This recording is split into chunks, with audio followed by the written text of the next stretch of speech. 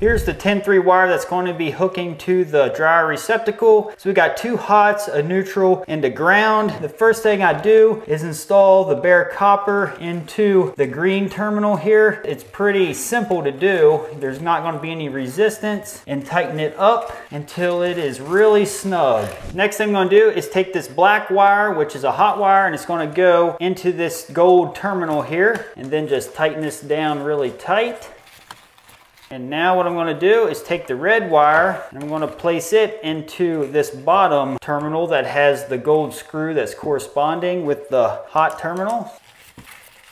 Lastly, I'm going to take the white wire, which is the neutral, and it's going to go into the neutral terminal.